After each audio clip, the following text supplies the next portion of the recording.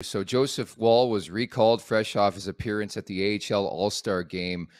Um, so obviously, you know, where are you at with patience when it comes to Matt Murray, and what would you do? The Leafs are back on Friday. It's a back to back against Columbus. I would throw him right in there on Friday against Columbus and have Samsonov on Saturday on home ice against the same Jackets.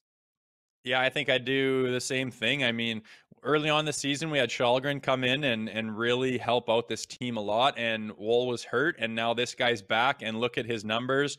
Uh, he's an all star in that league, thirteen and one. Like, are you kidding me? Nine three save percentage. Um, looks like a fantastic goalie. And I mean, the Leafs are lucky right now. They're they're quite deep as far as goaltending position, which is something they've honestly struggled with. And Källgren showed he's got the chops to stay stand in there with pressure.